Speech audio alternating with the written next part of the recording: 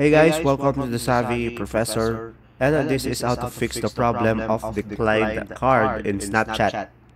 So guys, if you encounter that issue, first thing that you will do is to make sure you have a payment method on your Google Play Store. So now let's just open the Google Play Store.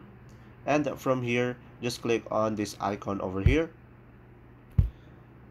And after that, just click on the payments and subscriptions and from here guys just click on uh, payment methods. And from here you should have a payment method added on your account. So as you can see you can choose multiple options here. You can add a credit or debit card add a paypal redeem code and buy google play credit. And guys from there you should be able to fix the issue. But if it doesn't first thing that you will do is just go to the settings. And then from here just go to the apps and just search for the play store. And from here just tap on the google play store. And from here just make sure to tap on the storage and make sure to clear cache and also clear data.